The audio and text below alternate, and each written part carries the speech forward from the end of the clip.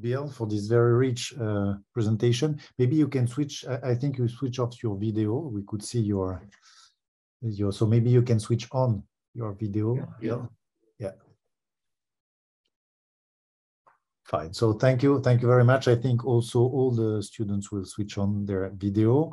Um, we have now three discussants. We have uh, Malena, uh, we have uh, um, Juan Manuel and Quentin. Uh, I leave you take the floor and share your, your screen. Perfect. Okay. Leo is not alone. Uh,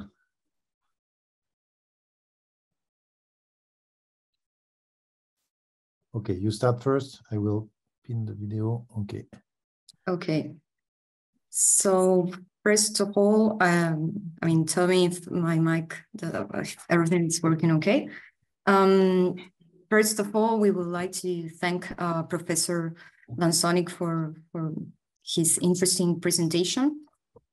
And now we are going to start the second part of this uh, joint seminar session. We decided, or we are going to, to, to divide the remain, remaining time that we have in three slots. First, uh, we will discuss what we think are the core concepts uh, that Professor Lazonick uh, developed through his work. Secondly, uh, we will try to linger upon some of uh, these topics and key issues and that we will also like to discuss with him. And finally, there will be um, a slot for questions from the audience. But um, before getting deeper into the main uh, concepts, we believe that it's necessary or it's nice to give a framework or a bigger picture of where we can find um, Lazonick's work particularly because the paper is very interesting, interested in the sense that it not only presents like an empirical basis of uh, the changes that US uh, enterprises went through and its implications for society, but at the same time, it has a clear theoretical framework of how companies allocate productive resources, how actors contribute to this, uh, to production, and how this can render different uh, regimes. So therefore, we would like to interpret the text in the light of corporate governance uh, literature, and more interesting, interestingly, between the intersection of two streams of thought that deal with a super relevant and necessary question, and that is, uh, what is the role of the firm in society? And as he mentioned, on the one hand, we have the shareholder value uh, ideology more related to mainstream economics, where companies uh, solely are worried about maximizing profits and share value. And on the other, we have a more comprehensive uh, perspective introduced by Berle, that is the corporate social responsibility, where companies are more than profiting units and have a responsibility towards society and can act as catalyst uh, for fair wages and job security and stability, among others. Uh, so having said and having introduced this bigger uh, framework, I'll give the floor to Quentin.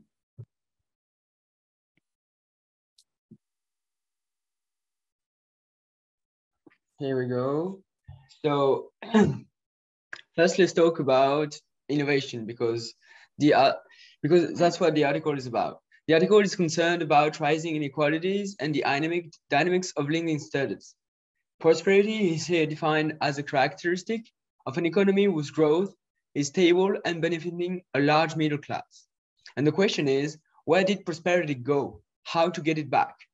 And the answer for uh, Lazonick is growth-laden prosperity will only be secured with an effective innovation strategy. And as in many other contemporary growth paradigms, uh, you consider that growth avenues lay along the lines of intensive growth, that is productivity increase. Innovation, though here is defined, innovation is defined as generation of higher quality and lower cost products and services requiring a more efficient combination of capital, capital and labor. Nevertheless, here, innovation does not belong only in the company, but throughout society. The innovation triad has three pillars, and all of them are essential. First, the innovative enterprise, of course, the investor in productive capabilities and the actor of innovation. These business firms are key actor of innovation, putting money at risk for transforming a technological change into a commercial opportunity. Since investment is uncertain, collective, and cumulative, the firms need to orient their strategy control, organizational integration, and com financial commitment towards innovation. They need to be dedicated to foster innovation on the long run to, to, to sustain prosperity. Yet they rely eh, on and make use of the producting capabilities provided by both household units and government agencies. Household units indeed provide productive capabilities in the form of young workers trained into productive adults. Investing in international, intergenerational human capital, personal, and often firm-specific knowledge, and homes as physical infrastructures prone to reproduce the workforce. As thus, there are supportive families. And the, uh, the last actor are government, government agencies. They have who have to take the role of the development state with massive investment in fundamental research and physical infrastructures. But the article deplores that the recent investment policy of the Biden government fails to account for this triad and only supports investment for governmental agencies and household units. In the US, the innovative enterprise is no longer and should be made alive and well again. And now I leave the floor to Juanma. Okay, um, and now we wanted to highlight um, the analysis that Professor Lazonick does about the different resource allocation regimes, specifically for the US economy. Uh, first, um, the retain and reinvest regime was enforced in the US from the 1940s to the 1970s.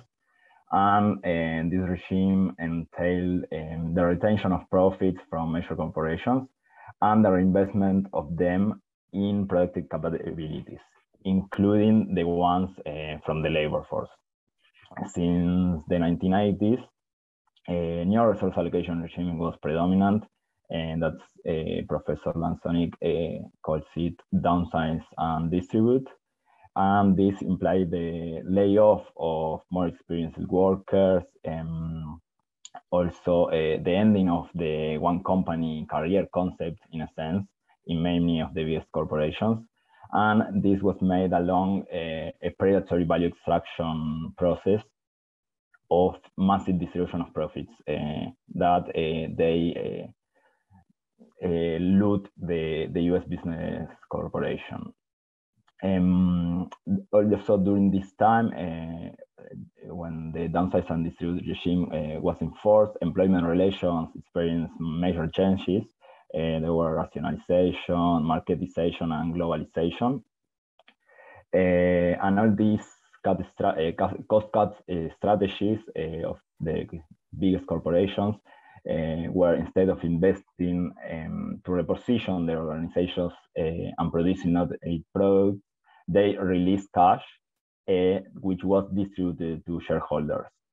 The um, maximized shareholder value view was the ideological legitimation uh, of this uh, shift to the downsize and distribute regime with economic efficiency as one of the arguments. Um, this led to extreme concentration of income, the erosion of middle class uh, employment opportunities and also falling uh, productivity in many of these corporations.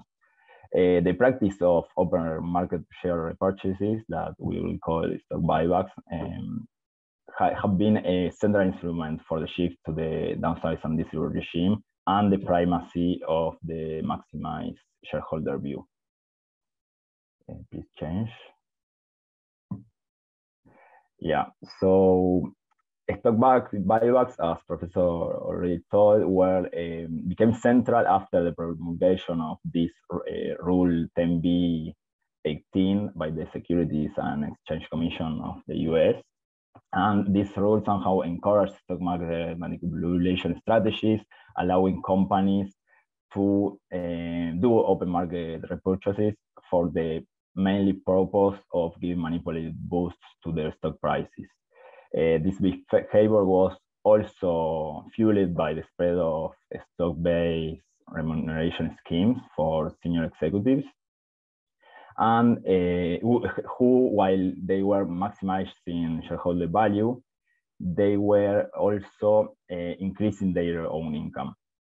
Um, the paper gives uh, several examples of uh, the ongoing tensions between innovation and financialization, uh, with the statements, really clear statements of top executives.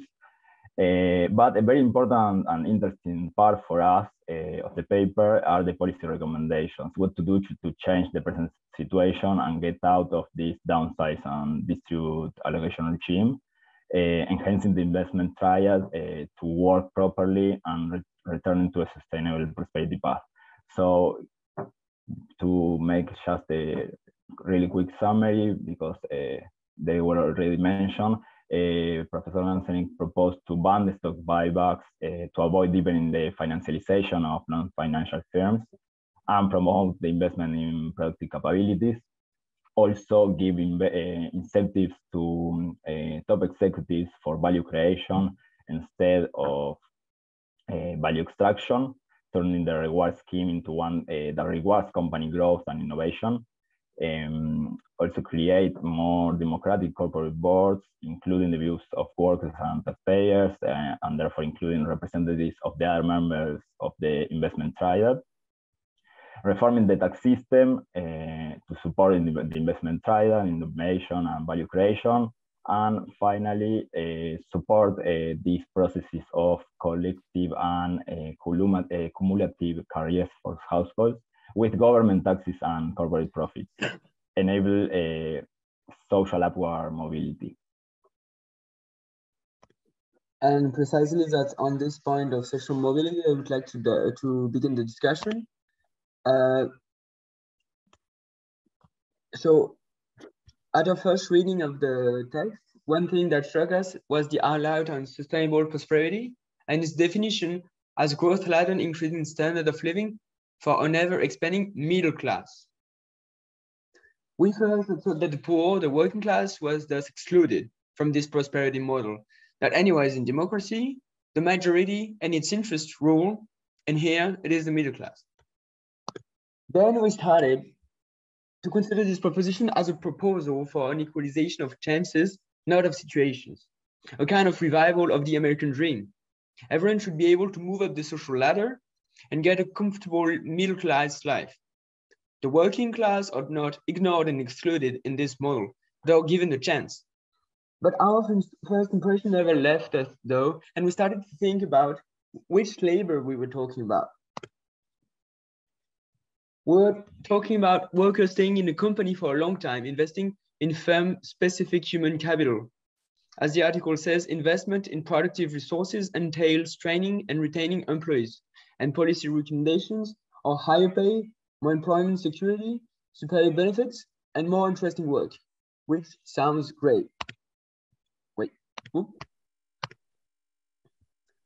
But this reminded us of an old, but nowadays trendy concept, internal labor markets. You recognize this concept for Piore and Doeringer in an article of 1971.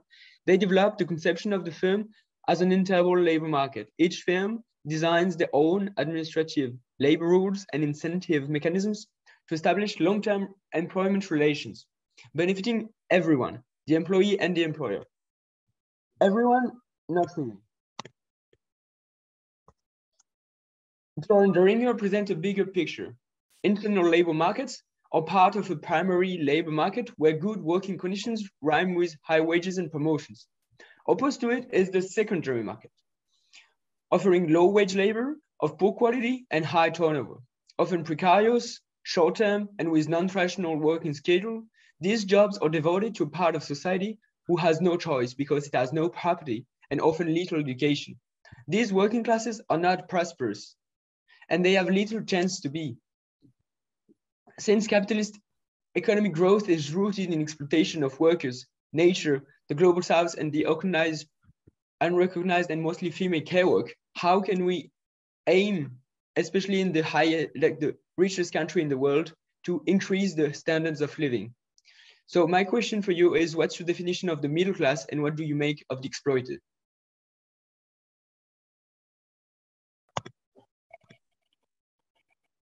Okay, um, Am I supposed to respond now or? Yeah, please. Okay. Okay. Yeah. Well, that's a very good question. Uh, so first of all, uh, I'm talking about a dynamic process of social mobility. And on the one side of people rising, uh, uh often in working class jobs to be uh, to a middle class standard of living. Uh, I'm also talking about a very broad definition of a term middle class in terms of people who different levels of education uh, have uh, enough to get by, can, can, but also have the uh, uh, wherewithal to um, for intergenerational upward social mobility. Now, to this, uh, I mean, I, will refer you to a series of papers, which is coming out of a book as a book which is on the INET website, the Institute for New Economic Thinking, uh, on uh, what happened to African American employment over the last 50 years. And uh, some of the things you said were just now were relevant to, to it. Uh, uh, in uh, the 19, as a result of the Civil Rights Act in 1964, they created the Equal Employment Opportunity Commission. And uh, initial article we wrote on this, we called it the Equal Opportunity Employment Omission. Because what it was assumed when they said uh, uh, that there would be equal employment opportunity was, in fact, the notion of a career with one company. Except within major companies, uh, African Americans instead had been kept in the lowest skilled jobs and uh, often in, in relationships where they were outside the unions. And what happened in the 1960s and 1970s, uh, there was upward mobility uh, within these companies, uh, particularly to semi-skilled jobs. The auto work uh, industry would be one of them, uh, where and steel industry, uh, machinery manufacturing, where a large number of African Americans were able, through internal mobility in the company, which was a result of two things. One was uh, um, the fact that the white working class intergenerationally was upward mobility, getting free education for their children and moving into college educated white collar jobs.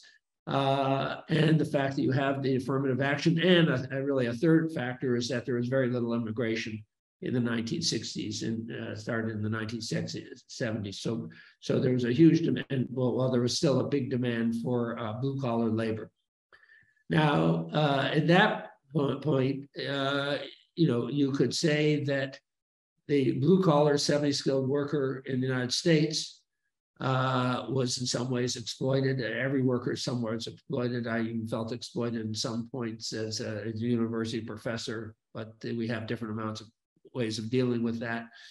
Uh, you know, if you have a boss, you're likely at some point to feel exploited sometimes, but you may really be exploited. But the exploitation was reduced. In fact, standards of living were achieved for people which uh, were gave them a lot of security. Because one of the things you got, and this is in the American context, was you also got your health care covered, you got your uh, defined benefit pension. It's, it's one of the reasons why health care is so bad in the United States is that uh, it, the big corporations used to cover it and it originated as a white man's you know world as for white working class but blacks started getting access uh, to this as well.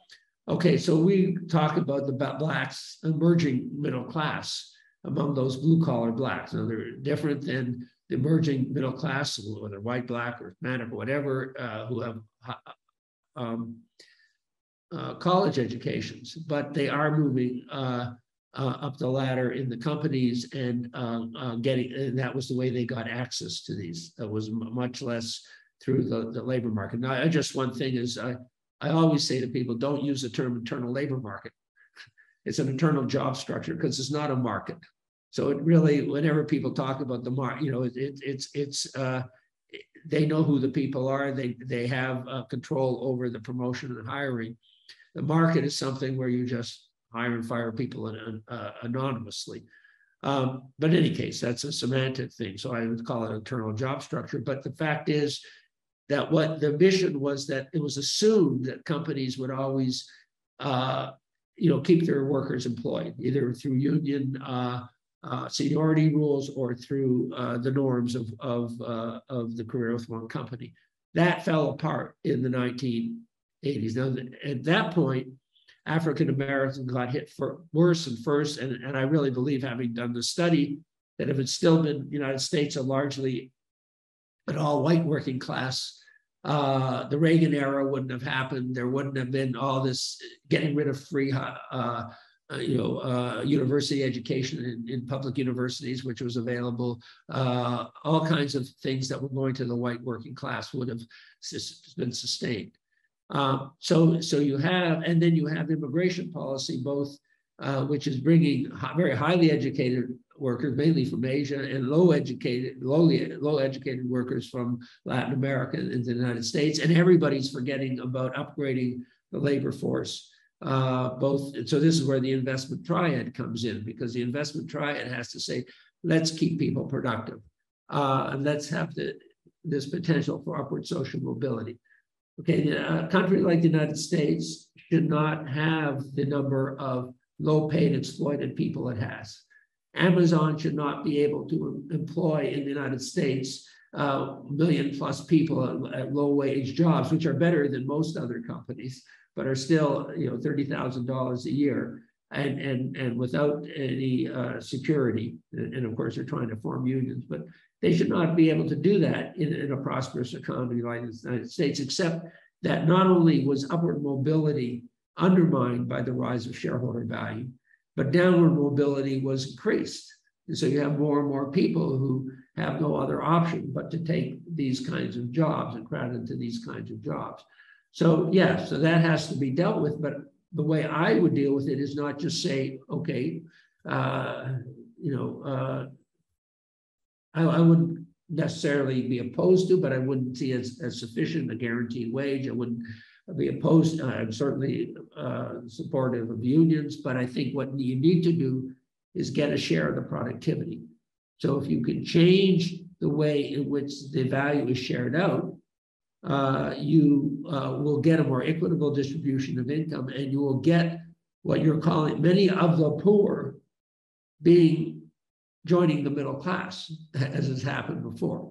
Uh, now, this is middle class in terms of standard of living you know, maybe it's it's not middle class in terms of uh, a job that uh, uh, is a knowledge working job, etc. But it's it's it's uh, I'm talking about a standard of living that could exist that does not exist in a society that could afford it.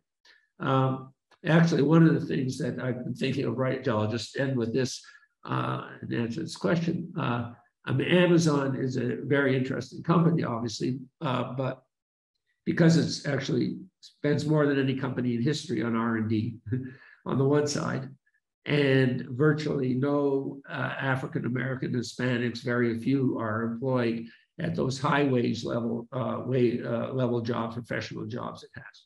Um, but at the uh, level of uh, the, the, distribution centers, deliveries, uh, about over 30% of their million plus employees in the United States, or probably about, probably now about a million uh, just at that level, are called uh, helpers. Uh, they, um, uh, uh, about 34% are, are African American, about 25% Hispanic, and that's where they're drawing this labor force from. Uh, they're now starting to form unions. Jeff Bezos, who's one of the richest people in the world, of course, actually uh, um, would uh, is now under pressure, and Amazon for the first time, which has never paid a dividend. So it's a, it was a retained and reinvest company, uh, but Amazon has now started doing stock buybacks because it's being attacked by hedge fund activists with this very small amount of shares, like Apple has. Now Bezos, the smartest thing he could do, because he doesn't have dual class shares, and he could actually be thrown out of of Amazon would be to give every worker a $3 an hour wage rate to recognize the union and to tie up all the profits from year to year of Amazon in benefits for the workers. Because the alternative is going to be he's going to become like Apple.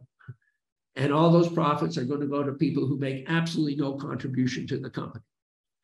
So he should become, you know, a fervent, uh, uh, uh, uh, um, you know, or adopt a critique.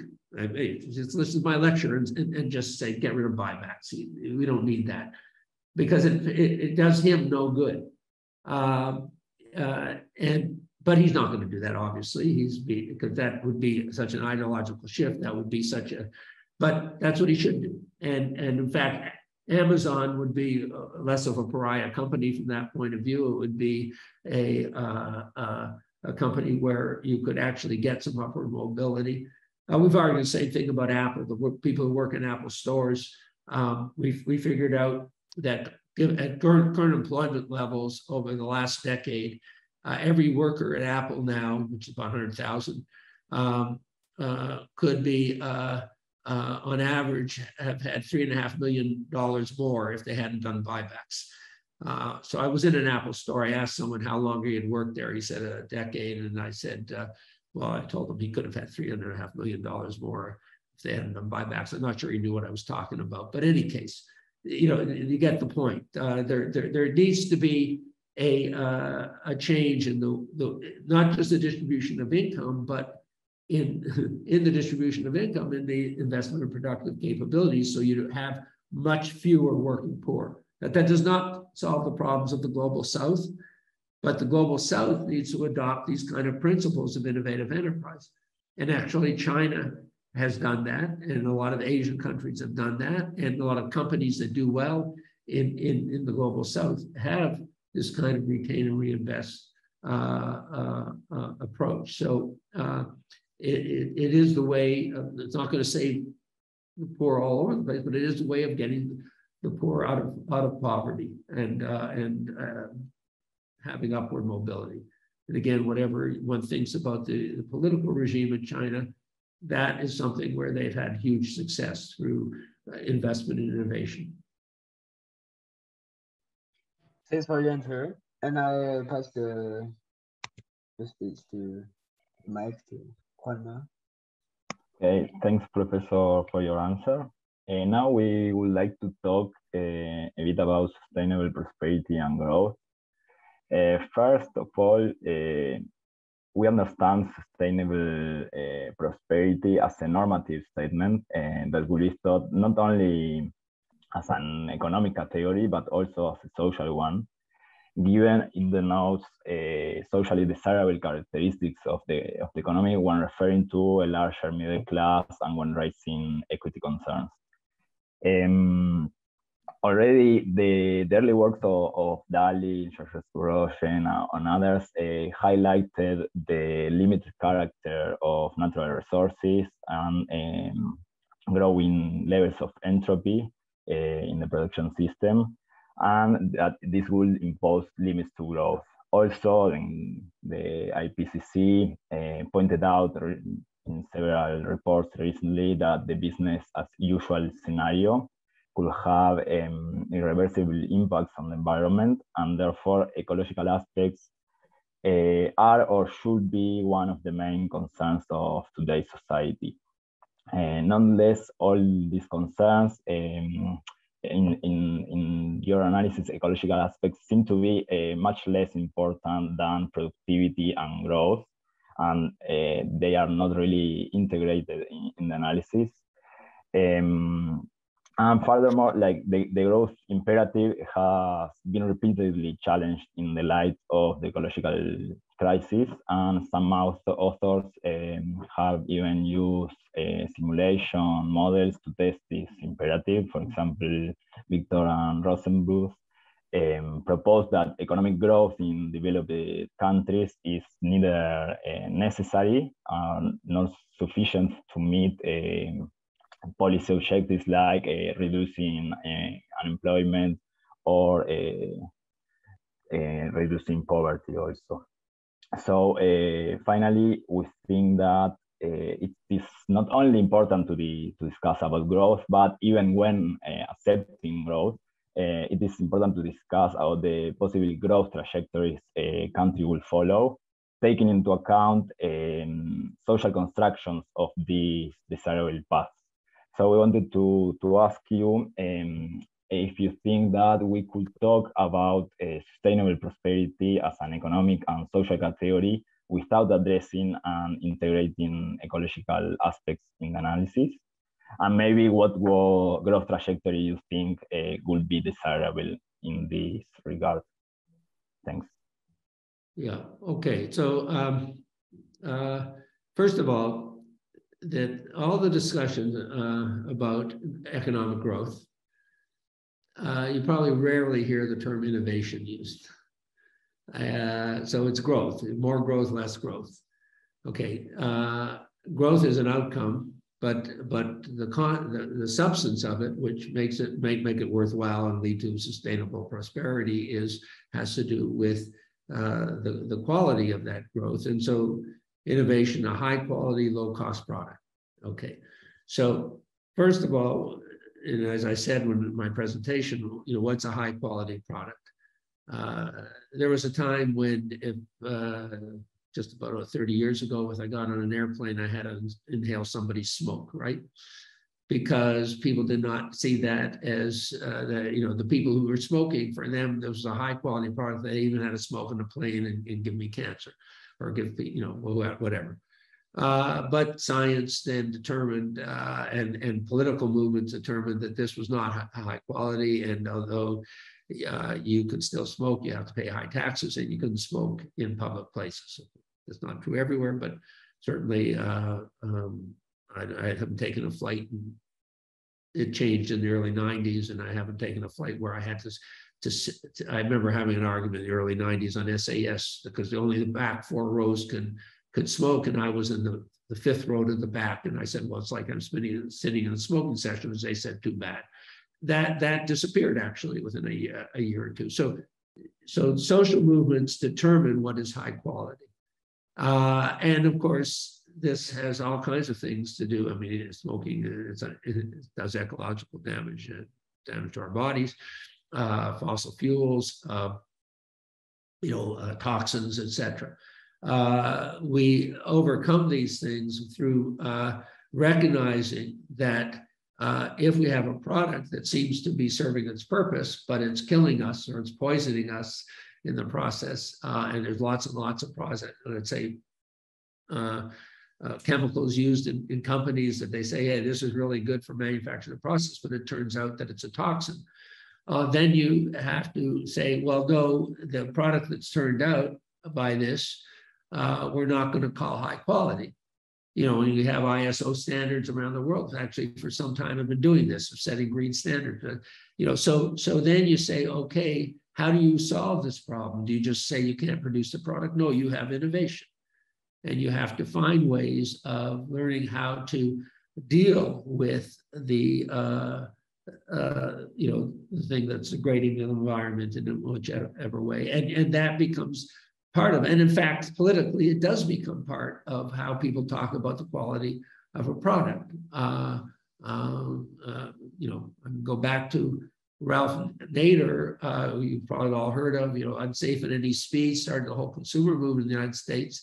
He said that these small cars that people are driving are, are very low quality because they're, you'll die in them, they're unsafe. Um, and uh, uh, actually, uh, it's not in this paper, but uh, I'll tell you just one way of talking about this. Because uh, Nader had a big impact on uh, on actually corporate America and actually on the move to shareholder value because they didn't want to deal with the issues that he was raising in the 1960s and 70s.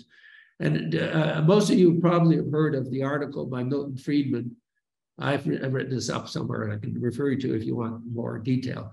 Uh, the social responsibility of a company is to increase its profits, compared to the New York Times in 1970.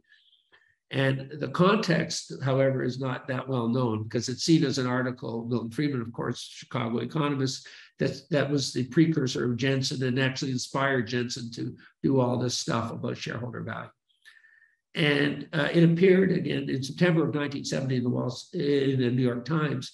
But the context, which if you go actually look at the original, is clear that General Motors, the car company, uh, had had a uh, annual meeting of shareholders in 19 uh, May of 1970, uh, in which, inspired by Nader's movement, there was something called Campaign GM, which wanted to put three people on the board of directors uh, who were public representatives who were argued for safer cars and more fuel efficient cars or more ecological cars, right? And uh, that was overwhelmingly voted down by the proxy votes of shareholders. Uh, but General Motors, the, the, chair actually was somewhat sympathetic uh, to this, or at least not totally opposed to it, and appointed a subcommittee of existing board members to look into the problem.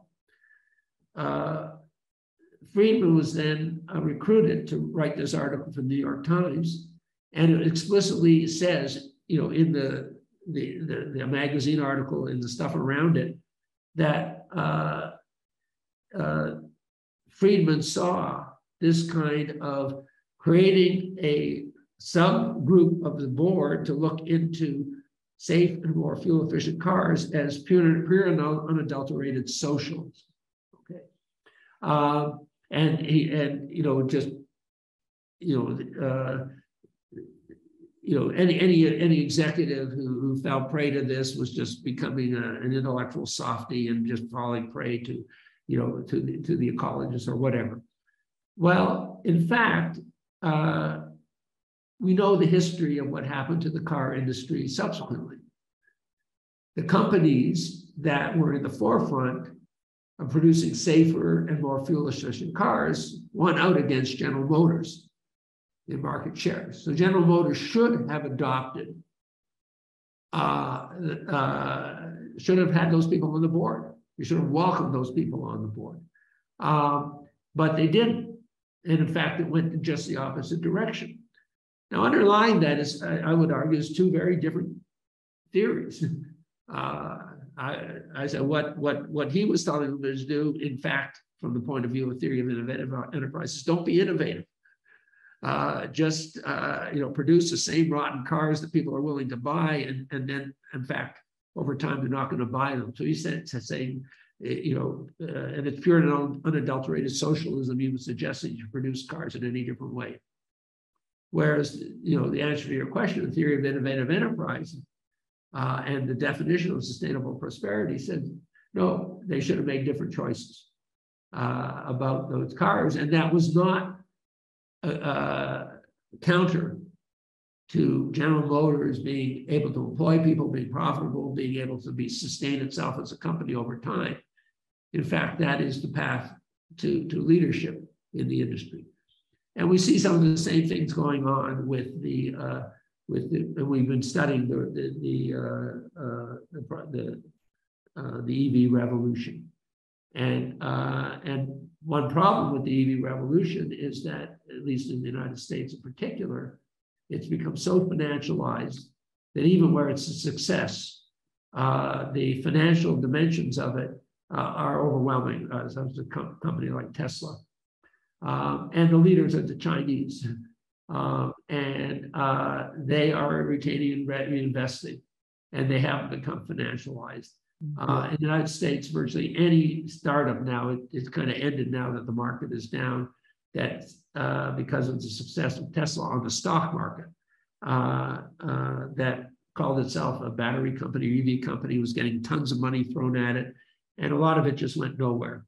And it was not backed by any consistent government policy. So, so I would say yes. I mean, we the studies need to be done on this, but it totally fits within the framework that I laid out. I would argue. Okay, I think there is one last question from the yeah. discussant. So it has been a little bit long for this part, but anyway, so Malena will ask her final question. Mm. So uh, if you if you can, uh, Bill, not one not to take too much time because then okay. we have the questions of all the other students. okay, sorry. Malena.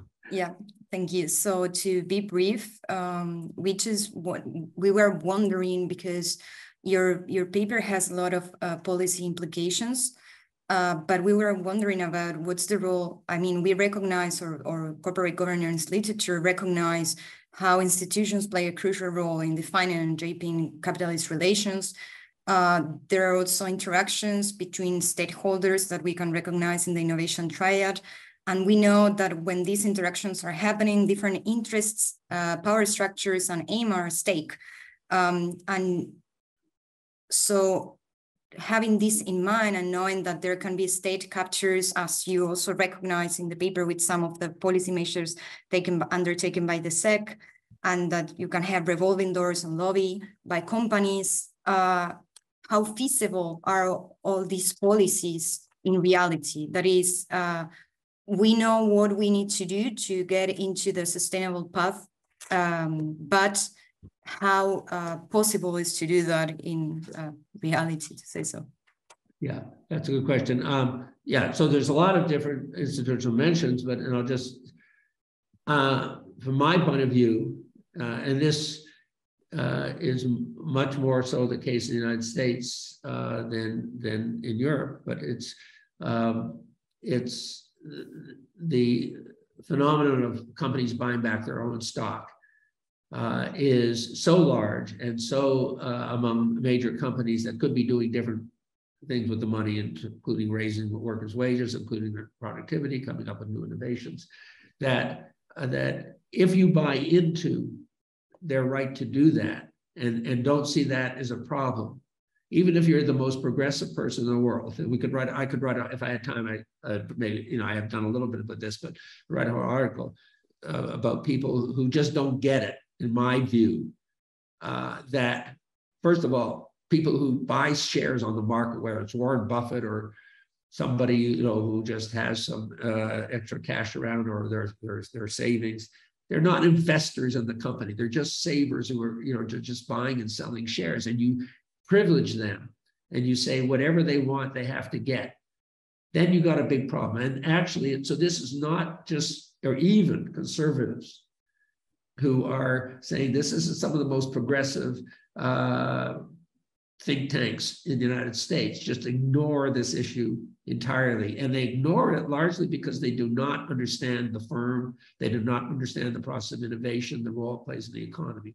So that's I would put it that at the center. And because I think the, the resource allocation decision is of critical importance, uh, this is the, the real weak link. This is the, the you know, between, you know, and, and it, it manifests itself just with, for example, this is not going to change the world and Intel may never catch up with uh, uh, Taiwan and Korea, but they put a production guy there in charge who he was the head of their uh, chip uh, design in the, the 80s. Uh, and they said, okay, try to get us back on track if every company said, let's stop doing buybacks and let's invest in the labor force and let's really try to be innovative, you start having a very different company. So since it's very difficult for any one of them to say it, just ban the damn things. And, and in the process of having the argument why, why you need to ban them, you at least come to a consensus or at least a different view about what is wrong with the way in which resources are allocated in the economy. So I, I, I, start right there at the heart of financialization, which is these trillions of dollars of buybacks that are done by major companies you know, over the over the decades. Thanks, Bill. Uh, so maybe we can switch uh, our cameras for all and, and start the discussion with, with everybody. Uh, if you have a questions, you can put a star in the chat so that we have the order of the discussions. Uh, Mohamed first. Uh, thank you, Professor.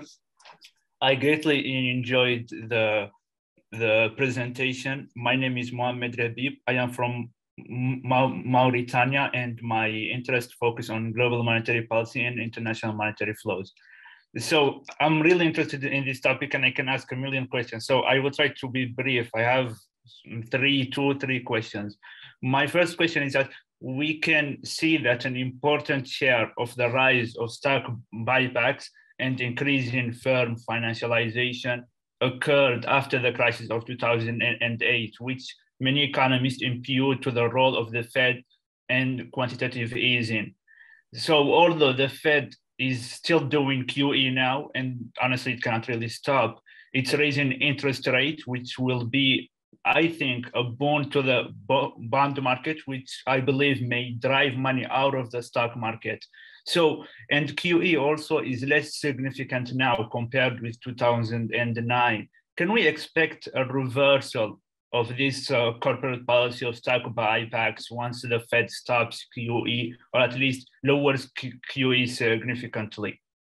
Um, okay, so that's a very interesting question. So first of all, no buybacks did not start after the financial crisis. They they uh, quadrupled for S&P 500 companies between 2003 2007. They started becoming much more systemic before the financial crisis, and in fact contributed to the crisis. Um, although the crisis occurred, of course, much more in the subprime market, but it was really to chase for wherever you could find them for higher yields. That was the problem. Uh, okay, the second thing in terms of it really had to do with Fed policy. Of course, you get all this nonsense about you know you need a higher rate of inflation to, you know uh, or a higher rate of unemployment to bring down inflation. It, it has nothing to do with it. Uh, okay, what the Fed does not have that much control over the economy because uh, uh, you know companies, for example, if they use their retained earnings to reinvest, they often don't take on any debt, uh, and and they can just grow. And and uh, uh, now I think the, the quantitative easing uh, came from the, the need to get a kind of a financial recovery and uh, that got all kinds of the stock market going, the trading going. But now, whether it was understood the extent to which companies would use the low interest rates to buy back their stock is another question. Uh, but that was one of the things they did with it. So it wasn't necessarily uh, uh, taking, oh, we can get money for almost nothing and invest in very uncertain, innovative products. And now that doesn't mean that a company that had uh, you know top executives that wanted to do that, that it, cheap money wasn't wasn't couldn't be useful, but that was not the way it was often used. Now I think my own view is, I mean, I'm not an expert in this area, but is that uh, the Fed having what they realized is that having bailed out uh, the, the housing market in the financial crisis, and then in the early stages of the pandemic, they started buying up uh, junk bonds, corporate bonds, to keep the bond market from, from, from, from collapsing. They knew that the next thing that they'd have to come in basically as of you know, lender of last resort, but in this case, a buyer of last resort, was the stock market. And I think they understood that the stock market had become so speculative and so uh, I would argue also because of their own QE policies manipulated in part that that that if it crashed, they would not be able to uh, you know to buy up all these stocks and, and and and restore the stock market. So I think that the higher interest rates are trying to get money out of the stock market, create, and they've had, I think, that effect. Uh, uh, but there's so much money out there that that doesn't mean that the money is staying, you know, there's no money in the stock market is drying up. There is too much money looking for too few for opportunities, you know, for higher yields and not, you know, in the global economy and particularly in the rich countries or, or you know, and so I think that that's what the Fed is about. It is trying to prevent the next crash that it's going to have to bail out. And the stock market crash is something that would be uh, um, it, it, would it would just be over, uh, overwhelmed uh, to to bail it out. And so I think it's trying to. It's kind of like, you know, uh, let's just keep raising rates, get people to put money in fixed interest, uh, and uh, make the stock market less speculative, or at least you know reduce the boom. You know, uh, and to some extent that's working. On the other hand it's not reducing buybacks one bit. Uh, it uh, it uh, they were at record levels in 2021 and probably be even greater in 2022 among and and I should say that buybacks are being done among the biggest companies and so it's uh, and, and there's a whole other dimension of this value extraction which which we've started studying which which which uh, which is private equity and uh, which operates much more in services and in, non-tech uh, sectors, which is extracting money from the economy. So it's not the only part of the corporate economy uh, where you're getting predatory value extraction. But I think that's the Fed's role is is very limited, you know. And then economists couch it as if this has to do with the whole future of you know employment and you know stability in the economy as a whole, which is I think nonsense. Thank you. Thank you very much, prof Professor. I still have another question. Yes, let's put another star because otherwise I will be, okay, put another star because there are other few questions and I would not like to just monopolize. uh, Fine. Okay. Sophia? Hello, can you hear me? Yes, Okay, Professor, thank you very much for your presentation. And I would like to know your opinion on the idea that legitimizes paybacks on the basis that firms that had an excess of cash that is not needed uh, for investment, either because um, new technology is reducing the need for fixed assets or because of a lack of investment opportunities within the firm, uh, but on the contrary, that these fun- funds that leave the large corporations in the form of paybacks could be reallocated or reinvested in smaller and more um, agile companies that are better suited to compete in the economy, then um, uh, in this way, paybacks should be uh, might be acting as as agents of progress in a Schumpeterian way of creative destruction. And I also would like to know if the answer might be given by the irony that you mentioned in the presentation, the irony of uh, maximizing uh, shareholder value. Thank you. Yeah, that's good. Yeah. Um, well, first of all, yeah, the whether the, the money is needed or not, it depends on the company. I, I think if I take the case of Apple again, uh, despite this over half a trillion dollars in, in less than 10 years of buybacks, they still have plenty of money rolling in. They might not have that forever, but they have it now. Uh, one point I should make is that uh, some critics say that well, you know, that's better off being used elsewhere. If, if Apple just put those that money into bonds, into various types of corporate securities, it would circulate through the economy. So they don't have to do buybacks in order for that money to be used, you know, in the economy. I mean, it would just be their, you know, investment decision how to do it. Now, the other side of which I have made this argument is that a company, first of all, that if you're going to do startup companies, it's not just a matter of money. Uh, there's always in the United States since the late 1970s been more money available for venture capital than there's been good companies. And then we, we get often in, in booms get it into companies that aren't so good. Uh, so you have to find the people and the ideas and, and, and, and put together the organizations uh, that can actually develop the, the, the, these products and, and, and sustain them with the finance. Now, certainly, uh, I'd say a company like Apple could do that.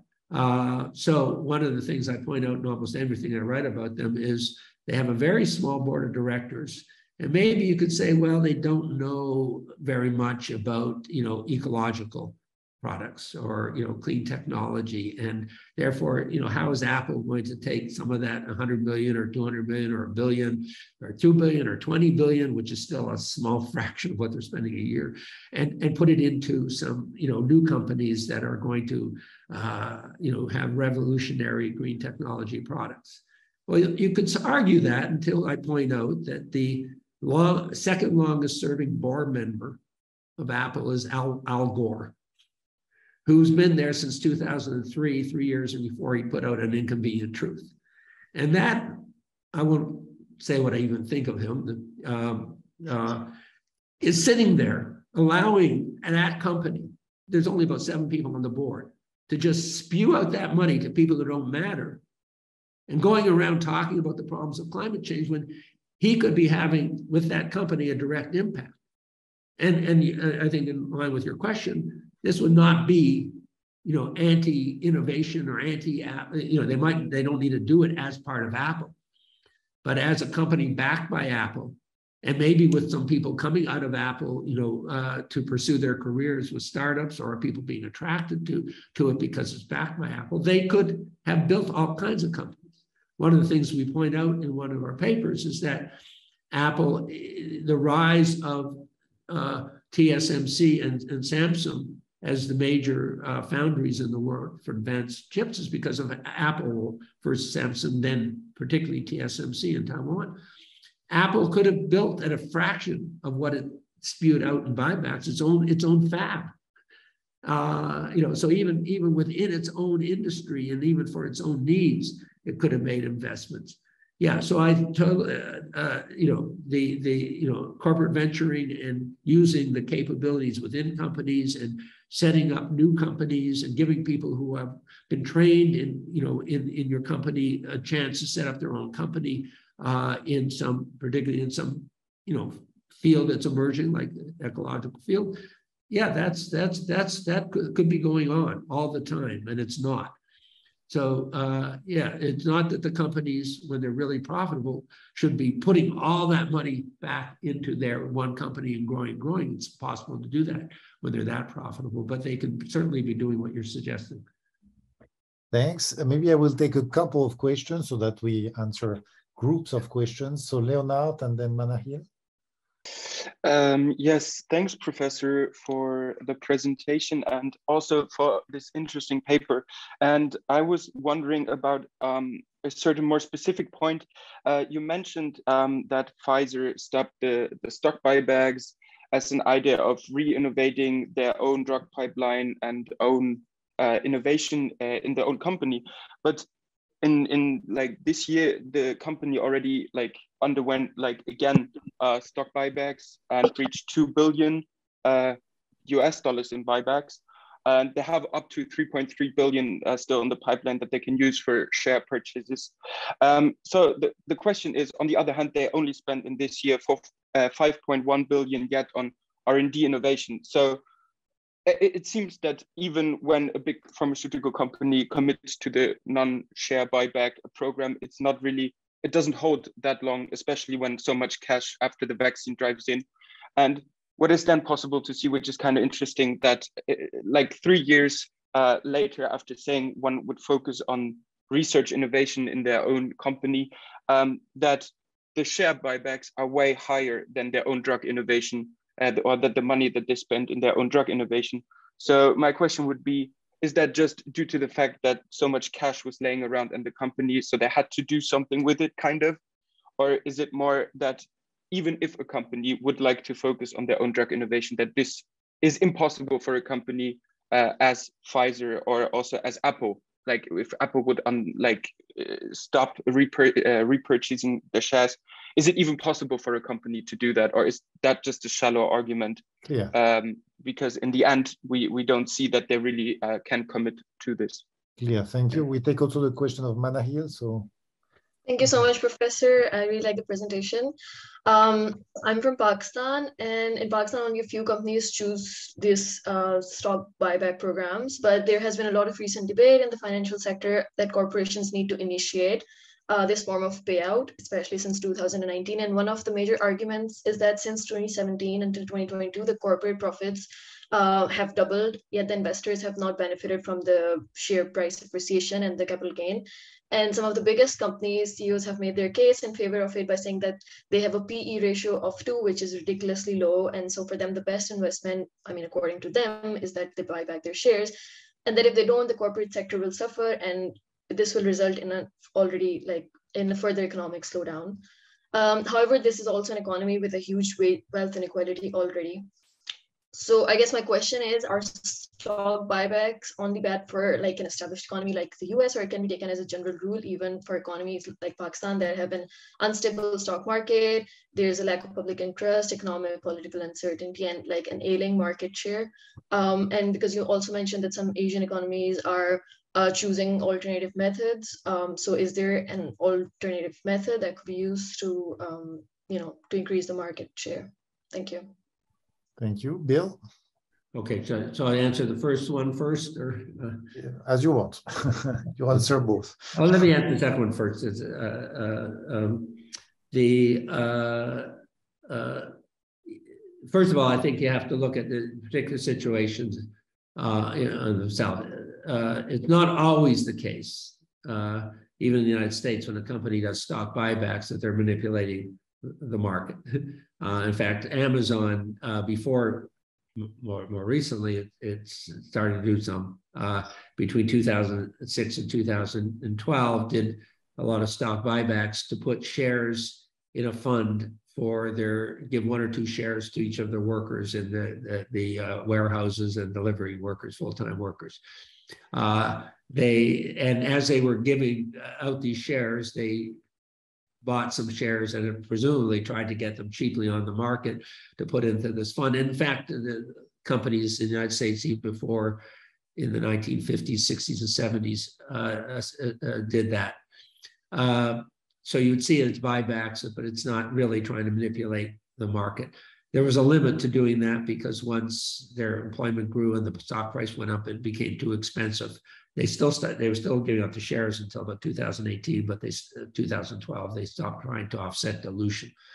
Uh, there's other cases where buybacks are being done because people want to get control of the company uh, and uh, and move it in, a, in, an innovative direction. And those are often done through in, through tender offers. Um, so an important case of that is Michael Dell taking his company private. It, it would show up as a huge stock buyback of uh, I think thirty billion dollars or something like that. Uh, but that was to get out of the out of you know, uh, the line of fire of people like Carl Icahn trying to extract value from the company in order to invest in in, in, in uh, more advanced technology, which they were successful doing at Dell.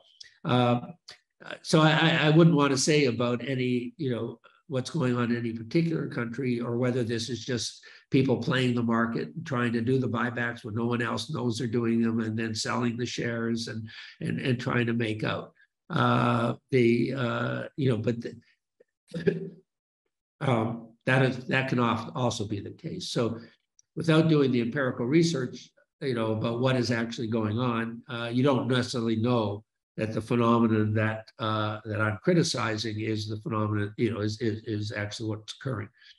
Uh, in the case of Pfizer, uh, I think it, it, it, you know, this is again why you need to study at, at a company level, and you know, it's we have a framework for doing that and and and but it takes a lot of resources. And uh, and that is that uh, whether without the pandemic coming along pfizer's attempt to after three decades of financialization to try to actually develop internal uh, products would have been successful it's hard to say because then the pandemic came along and they uh, made had this bonanza now, the, the, one thing from our research, and we do a lot of research on this, is that the uh, very fact that they had a relationship with BioNTech, the German company that actually developed the vaccine, the COVID vaccine, uh, had to do from this change in strategy. Although it was more in the organization, the research organization, try to find some smaller companies to partner with to uh, have you know, acquire them, maybe have internal development that way, uh, um, you know, acquire them at a young stage, uh, or have some collaboration with them. Uh, in fact, uh, when the pandemic, uh, well, uh, when at the point where BioNTech decided that it was going to put, it was, you know, was trying to produce cancer drugs with mRNA and decided it was going to try to produce a vaccine, which it moved on a, like very quickly to do because of the nature of the company and, and uh, the way it was run uh, in February of uh, uh January, February of 2020. Uh, At first, Pfizer said no, they didn't want to uh, collaborate with them in, in manufacturing and distributing the vaccine. But then a month later, when the, it was declared a pandemic, they said yes. Now, the, the fact is that Pfizer's, and I think this is generally true of big, big pharma, uh, they're in, in, the world of bio, biotech, uh, particularly, uh, and with the decline of corporate research labs because of people going to smaller companies where uh, uh, from, from, from, from big corporate research labs at, at pharma, which have declined now for over 30 years. Uh, they're not very good at, at, internal innovation. Uh, doesn't mean they can't do it, but they're not very good at it. What they are good at and why they are big pharma is because they're really good at manufacturing and marketing, uh, particularly manu mass manufacturing. And so it doesn't matter how financialized they are, uh, if they get pat, you know, control over a patented drug and they have a huge market out there, they better be able to produce it so it's not contaminated, so it's safe, so mass produce it and uh, uh, you know, as efficiently as possible. And that's what big pharma companies actually have long been good at doing. And so the, the, the research and the innovation has now turned much more to the small companies, often in, in collaboration with the government. Uh, in the case of the other mRNA vaccine, Moderna, they did practically nothing to develop that vaccine. It was all the National Institutes of Health, and they made all the money out of it. Uh, but it's uh, uh it's you know so there's a, different roles that are being played played here. Um, yeah, so uh, it's hard to say, but uh, you know, and, and I think also the last thing I'll say is that that in all these companies there is a struggle between financialization and innovation. So I think, and all of a sudden, uh, Pfizer said, let's do a couple billion dollars of buybacks. There were some people pushing for this, and then some people pushed back and say, hey, no, you know, our profit stream might drop off with uh, uh, if, if, the pandemic is, uh, you know, uh, disappears, the vaccines are no longer needed. So they, you know, who knows? And, and that we don't know what, what, what the thinking is going on. With all this trillions of dollars in buybacks, this is one of the best kept secrets I, of, of how they make these decisions about how much to buy. And I've never, I've studied this as much as anybody. I've not seen uh, uh, really anything about saying why did Apple do 85 billion rather than 40 billion, uh, or or why did you know it, it just it just goes on as if it's you know with with without any accountability, without even any any reason given for doing these massive amounts of buyback. Thank you. Okay, we, yeah, we have two questions, Otto, and then Joaquin and Mathieu.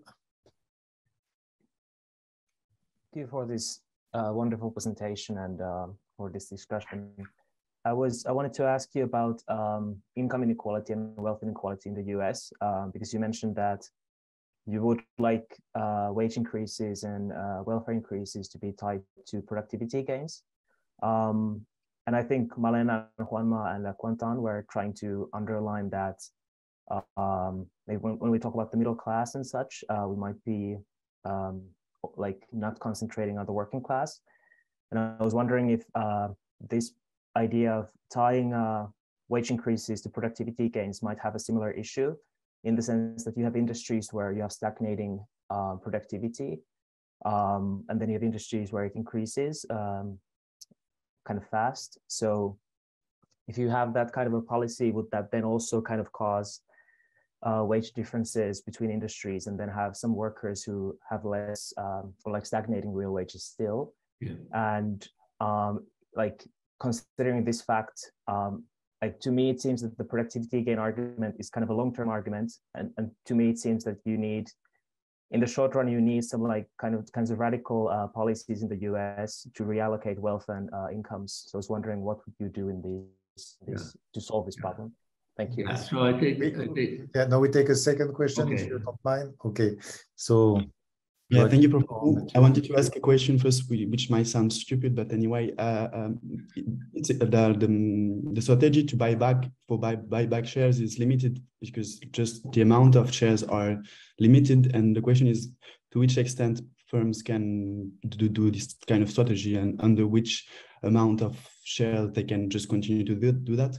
And the other question is like, I assume there's different solution to for buyback shares and um, uh, uh, retain earnings can be a solution. And do they also borrow money? Is, is it possible to buy back by borrowing money? And what could be the consequences, the, the signal on, on financial market if they do one strategy on, on another one for, for buyback shares? Thank you. Yeah, well, I, I did mention this, that they, they compete to get the stock price up. And so companies, particularly when interest rates were low, we're doing lots of borrowing to buy back shares, including a company like Apple, which uh, because until uh, changes in the tax law occurred at the end of 2017, uh, they didn't want to bring their profits abroad uh, to the United States because it would get taxed at 35% uh, tax rate. So they actually borrowed money uh, to do buybacks in the United States. A company, you know, $60 billion, a company that had you know, uh, hundreds of billions of dollars in cash, but not all of it available in the United States. And that actually changed with the, the, the, rules that allowed them to bring back the money, lower the, the corporate tax rate and bring back that money at a very low tax rate. And uh, that's why in 2018, it was a record year uh, for buybacks, uh, which was surpassed in 2021. But uh, I think it's uh, uh, um, yeah. I mean, they they um, there's it's really a competition among companies to to get their stock price up and and which is accepted uh, and by even by progressive economists and politicians. Uh, you know, I've heard Elizabeth Warren, who you probably heard of, senator from Massachusetts, you know, is very progressive, but she said, "Oh, the stock market's up. Well, that's good, but they said, well, maybe it's not good, you know, or or or you know." Now, um, uh, the thing uh, about the uh, wages and productivity, uh, yeah, I think that first of all, where uh, it's harder to capture the productivity because there's excess, you know, there's it's easy to replace workers, even though replacing workers has its costs. I mean, that's where unions have generally played the biggest role in companies.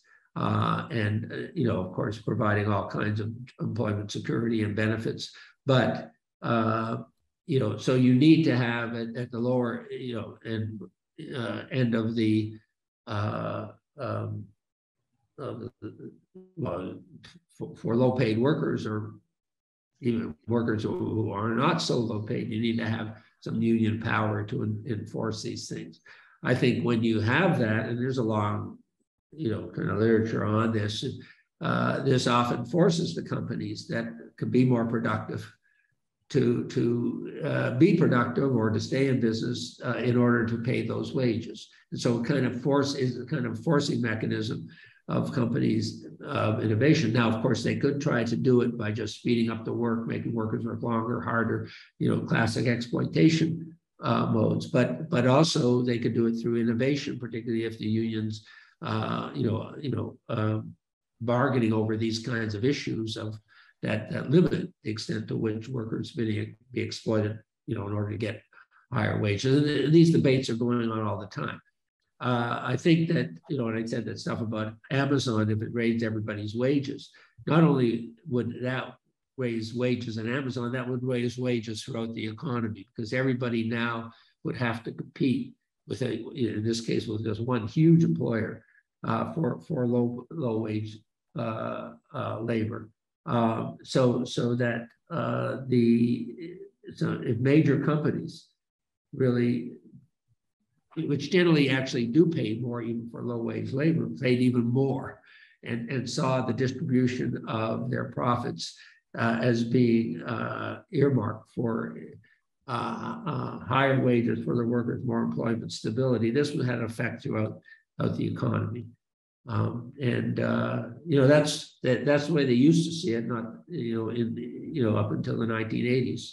Um, uh, if you look at old annual reports, you see companies bragging about how much of their uh, uh, uh over the last decade of their revenues and, and profits went to uh, more more employment, higher wages, and how much went to shareholders. No no company would you know, they don't even publish the data on how much their workers are getting paid now. Okay, we have then three, uh, the three final questions from Lucas, uh, Mohamed again, and uh, Manahil, and okay, four questions together. Lucas. Lucas said his question was already answered, so he can be skipped. Okay, great. So, uh, Mohamed. Okay, uh, I, am here again, Professor. So I just have a question about the institutional aspect of our debate because we, we are observing that there, there is increasing political polarization in the US, which has led to a paralysis. So, for instance, we see that the SEC and also the EPA and other organ or government agencies have been trying to fill in that gap to, to to create their own rules, but, but also they have been prompting the ire of Republicans who are suing them every day.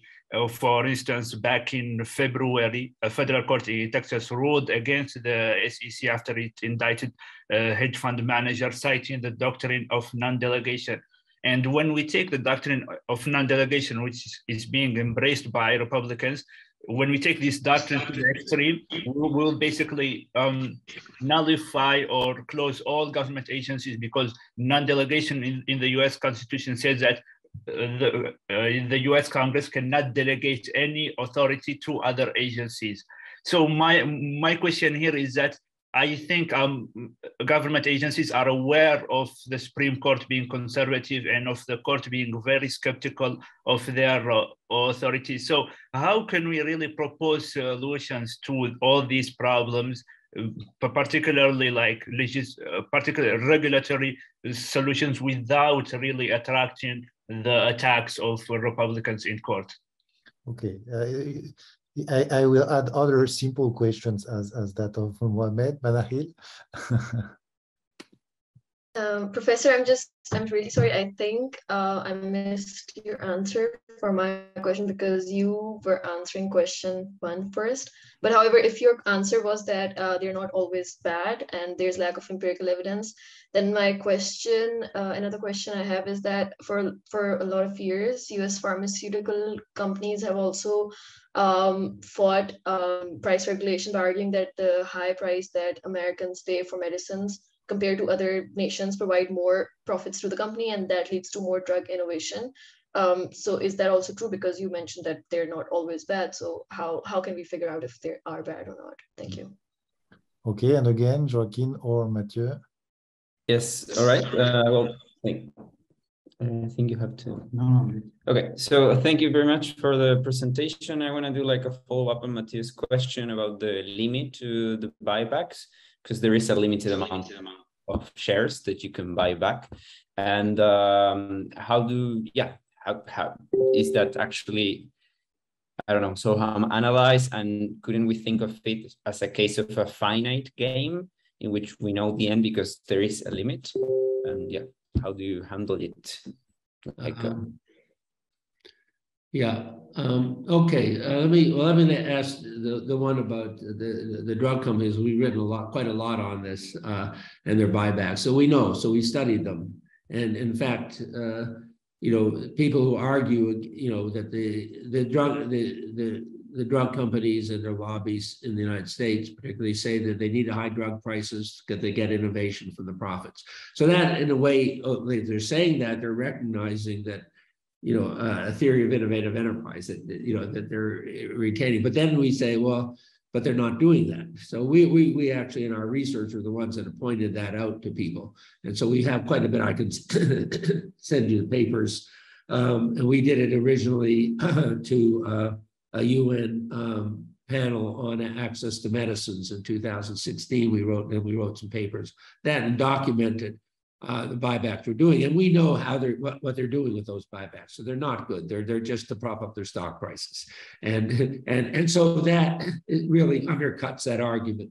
Uh, you know, um, so we pay higher in the United States, pay higher prices for pharmaceutical drugs so that the companies not just can have higher profits, but so that they can use those profits to pump up their stock price, enrich the uh, CEOs, the uh, hedge fund activists, etc. And uh, and uh, uh, we so we pay we pay higher drug prices in order for them to have higher stock prices and higher uh, gain re realized gains from their stock. And so why why would you want to allow them to do this uh, and uh, for something that's a matter of life and death, you know, drugs, and also supported by the government. Yeah, so we've made that argument, and uh, there's a number of papers that we have where it's uh, laid out. Again, you can look at the Institute for New Economic Thinking website. Um, on the uh, uh, the the question of I wasn't quite sure of the whole context, but of the of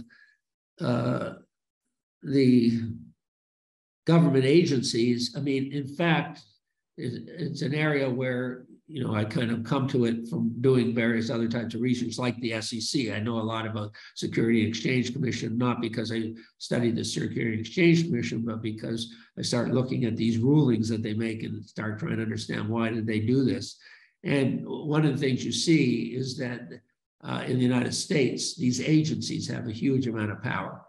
So there may be some cases where you know legally, you know, the you know the the, the judiciary is is coming in, but there's a lot of things like like like the rule that allows stock buybacks. It was never vetted in Congress. It was never uh, you know uh, you know contested. Well, now now it is being contested, but but you know that was the, the Tammy Baldwin uh, senator's uh, Reward Work Act, which was the first attempt to really you know do something about stock buybacks. That came in 2018. The, the law that allowed them, or the rule that allowed them, not the law, was 1982. You know, uh, so so I think a lot of these agencies actually get to set the rules, and unless uh, they're they're contested, either uh, through some legal proceeding or in Congress, uh, you know, just they can be doing a lot of damage. Um, doesn't mean they always do damage, but you know these agencies, but they can do a lot of damage if, and particularly if they're driven by uh, uh, uh ridiculous economic theory. Um, well, just remind me of the third question. Uh, I think it was Joaquin, no? Yeah, no, my question was about like, is there a limit to buybacks? Oh, yeah, limit to buybacks, yeah. Well, and okay. uh, and linking it to game theory, like it could be a case of finite game with all the implications we know. So how, yeah. Yeah, well, yeah. So so so uh, uh, I mean, there are there is there is a certain amount of stock reissued to employees, and we started measuring that as a percentage of the buyback. So there, there's some that uh, employees exercising options or uh, you know, uh, getting stock awards, is more stock out on the market through that, or sometimes through merger and acquisition.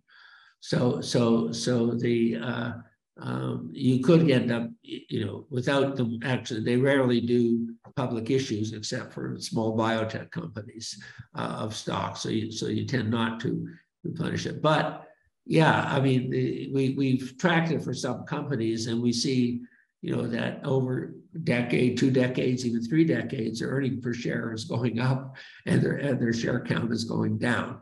Uh, you know, and so now there's a, you know, uh, I guess if they get, you know, but these companies have hundreds of millions of shares. So I guess if they got down to, you know, uh, uh, you know, 10 shares each worth, uh, you know, uh, uh, you know, $100 billion or something like that. Uh, you know, you could say they've run out of shares, but they're not, they're not anywhere near there. But it's clearly, it, it, it, it, uh, it inflates the, the value of those shares until, but that, that assumes that the company can, is fact, is, is, is still able to dominate and distribute, you know, still able to generate the profits. Every once in a while, it's not the shares that run out that's the problem, it's the companies hitting the wall because of their financialization. So I could give you lots of examples of companies that, like a Motorola, that you know was a leader in, in mobility in the, in era when mobility was on the rise, when it when it, it, it did buybacks between 2005 2007, and that was really the end of its really ability to comp- compete in, in cell phones. Uh, uh, BlackBerry, uh, Research in Motion, uh, the two founders, when they realized that uh, they couldn't compete with Apple in 2010, 2011, when that's when they had to do it, they they they started doing buybacks uh, and made out for themselves better than they would have otherwise as they got out of the sold their shares. Uh, though Nokia, when it was a cell phone company, they they screwed themselves over by doing buybacks. Uh, one of the biggest repurchasers in Europe in the 2010s, 2000s. But they they the, the problem was they ran out of shares. They they couldn't they they ran out of cell phones that anybody wanted to buy. And so it's the innovation side of it that that that, that shows up as the, the problem before before they run out of shares. Okay, thank you very much, Bill, for, for your for your talk. So we cannot applaud as we we would do. Uh, maybe we can try to. Okay, thank you very much for for this discussion. I think that was really rich. Uh, I think we appreciated all uh, much your, your, presentation and the discussion. You are invited next year, as you understood, for the for the seminar in person that time, hopefully, and um, and see you soon. Take care. Okay, thank you. Thank you. And, and, and for the students, we stay all together. We take five minutes break, and, and in five minutes we we can have a small talk uh, for five ten minutes.